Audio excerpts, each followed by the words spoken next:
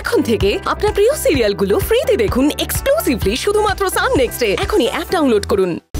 আমি আমার ক্লায়েন্টের হয়ে ওই মেয়েটির করা এফআইআর এর কাগজ দেখতে চাই। সে বুঝতে হবে। হাজার খুঁজলেও আপনি পাবেন না কারণ ওই মেয়েটি বা ওই মেয়েটির বাড়ির লোকে কেউ এসে থানায় কোনো কমপ্লেন জানায়নি। আপনি এতটা শিওর হচ্ছেন কি করে? কারণ ওই মেয়েটি আমি।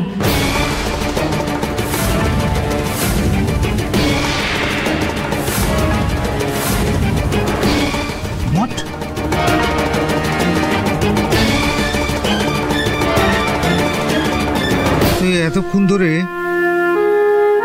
আপনাকে আমার খুব চেনা চেনা মনে হচ্ছিল। তাহলে প্রমাণ হয়ে গেল তো? যে আপনি কোনো অভিযোগ ছাড়াই বিনা কারণে আমার ক্লায়েন্ট ইভান চৌধুরীকে দুরাত আটকে রেখেছেন? আপনি জানেন আপনার এই কাজটার জন্য আমি আপনার উপরওয়ালার কাছে কমপ্লেন জানাতে পারি এমনকি মানবাধিকার কমিশনকেও জানাতে পারি। সে আপনি যা খুশি করতে পারেন। তবে ওই মেয়ে ধরা নামের ভিডিওটা ভাইরাল হবার পরে উপর মহল থেকে আমার কাছে নির্দেশ এসেছে এই ব্যাপারটা নিয়ে তদন্ত করার। তদন্ত করার অর্থ নিরপরাধ মানুষকে অকারণে থানায় আটকে রাখা নয়। তারপর আপনি কি বললেন? কোর্টে নিয়ে যাবেন। আপনি বলছেন যে আপনার ওনার বিরুদ্ধে কোনো অভিযোগ নেই। আপনি স্বেচ্ছায় সেদিন আপনি ওনার বাইকে উঠেছিলেন। হ্যাঁ তাই। এবার আপনি আমার একটা প্রশ্নের উত্তর দিন তো। শুনুন আমি ওনাকে ছেড়ে দিচ্ছি। শুধু শুধু আপনি এই ব্যাপারটা নিয়ে বেশি জল জলঘোলা করবেন না। আপনারা আইনের রক্ষা করে আইনকে অপব্যবহার করেন লজ্জা করেন আপনার? আপনি জানেন এই খবরটা যদি মিডিয়া পায় আপনার কি অবস্থা হতে পারে?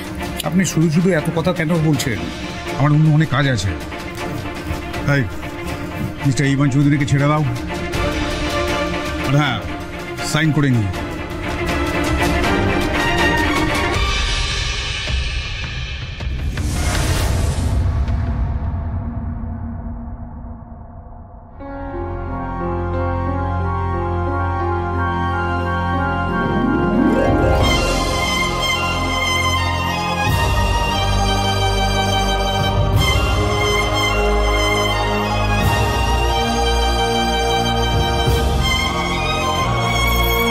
বলছি শুনুন সাইনটা করে দিয়ে যান।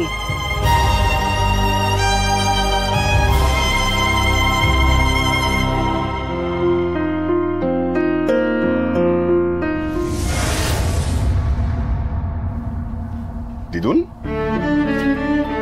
আমি মাত্র একদিন বাড়ি ছিলাম না তার মধ্যে এত কিছু ঘটে গেল। তুমি নাকি ল কলেজে প্রাইজ দিতে গিয়ে অজ্ঞান হয়ে গিয়েছিলে? তারপর কোন এক মেয়ে সে নাকি পরীক্ষায় এত ভালো রেজাল্ট করেছে যে দাদা ভাইয়ের সমস্ত রেকর্ড ভেঙে দিয়েছে? আবার তুমি নাকি ওই মেয়েটির সঙ্গে দাদা ভাইয়ের অনেক মিল খুঁজে পেয়েছ? এই দাঁড়া দাঁড়া দাঁড়া। রে এইটুকু সময়ের মধ্যে তোকে এত কথা কে বলল? কে আবার? চপলা। সে আমার ঘরে খাবার দিতে গিয়ে এক নাগারে বক বক বক বক বক বক বক বক করেই গেল। তারপর যাবার সময় বলে গেল যে ওই মেয়েটিকে নিয়ে নাকি মা আর দিদি খুব চিন্তায় পড়ে আছে। দেখ ওরা কেন চিন্তায় পড়েছে সেটা আমি বলতে পারব না। কারণ আমি যেটা ভাবছি সেটা তো ওদের জানার কথা নয়। তুমি কি ভাবছ দিদুন? ওই যে ওই মেঘলা? ওর সঙ্গে না ওমের কি অদ্ভুত মিল। তুই না দেখলে বিশ্বাস করবি না। তার উপর?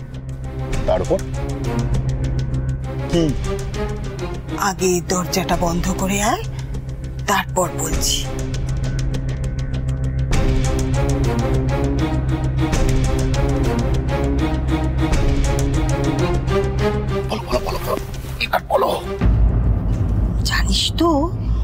ওই মেয়েটা না বৃষ্টির কথা বলছিল। মানে? বৌদির খবর এই মেয়েটা জানলো কি করে? সেটা তো আমারও প্রশ্ন।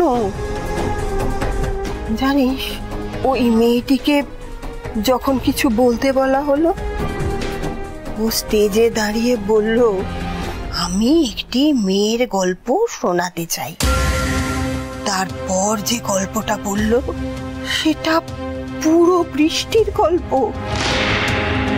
সেটা শুনেই তো আমি উত্তেজিত হয়ে গিয়েছিলাম আর তাই তো অসুস্থ হয়ে পড়লাম। ভূত ব্যাপার। আচ্ছা দেখো দিদুন এই মেয়েটাকেই যে দাদা ভাইয়ের নামে দেওয়া মেমোরিয়াল স্কলারশিপটা দেওয়া হবে, এর মধ্যে তো কোনো রহস্য নেই। না, ভালো পড়াশুনো করেছে, ভালো রেজাল্ট করেছে তাই তো ওকে ওম সান্যাল মেমোরিয়াল স্কলারশিপটা দেওয়া হয়েছে। এর আগেও তো প্রতি বছর কত ছেলে মেয়েকে দেওয়া হয়েছে। কিন্তু প্রশ্ন হলো, তোমার কথা অনুযায়ী ও বৌদির জীবনের সব কথা জানে এবং স্টেজে দাঁড়িয়ে সবাইকে সেই কথাটা বলছে। এবং তুমি সেখানে প্রেজেন্ট আচ্ছা বেটান আমি যা ভাবছি, তুইও কি তাই ভাবছিস? কিন্তু তোমাদের ওই বাবা ওঙ্কারানন্দজি বলেছিলেন হ্যাঁ হ্যাঁ ঠিক তাই। আমি বারবার বলতাম না ও মার বৃষ্টির সন্তান বেঁচে আছে। হয়তো হয়তো এই মেয়েটাই সে। না না দিদুন এক্ষুনি অত দূর ভেবে নিও না প্লিজ। আর তাছাড়া ওর সম্বন্ধে খোঁজ খবর নিতে হবে জানতে হবে ও কোথায় থাকে কোন বাড়ির মেয়ে সেসব না জেনে বুঝে আগে থেকে হ্যাঁ রবিকে আমি খবর নিতে পাঠিয়েছি। আর এসা আমাকে ফোন করে জানালো যে রবি ওই মেয়েটার খোঁজে বেরিয়ে গেছে। বেশ করেছ। তবুও রবিদা আর দিদিভাইকে বিশ্বাস করা যায়। এ বাড়িতে তো কাউকেই। সেই জন্যই তো তোকে দরজাটা বন্ধ করতে বললাম। এ বাড়িতে এ ব্যাপারে কথা বলার মানুষ তুই ছাড়া তো আর কেউ নেই। তবে জানিস, খোকা কিন্তু অনুমান করেছে যে আমি কি ভাবছি। যদিও ও এখনও জানে না যে ওই মেয়েটি বৃষ্টির কথা বলেছে। মামা খুবই বুদ্ধিমান মানুষ দিদুন। তাছাড়া দাদা ভাই আর বৌদির সন্তানকে নিয়ে হয়তো অনেক স্বপ্ন রয়েছে। হ্যাঁ মুখে হয়তো সেটা প্রকাশ করতে পারে না, কিন্তু মনে মনে একটা হয়তো আশা বেঁধে রেখেছে তোমার মতো, যে সে একদিন না একদিন ফিরে আসবেই। কিন্তু বিতান, একটা সমস্যা হতে পারে, জানিস? রবি ওই মেয়েটার খবর নিয়ে আমার কাছেই আসবে। কিন্তু বসার ঘরে তো সবাই থাকবে? ওকে হয়তো আমার ঘর পর্যন্ত ওরা পৌঁছতেই দেবে না। আর রবিও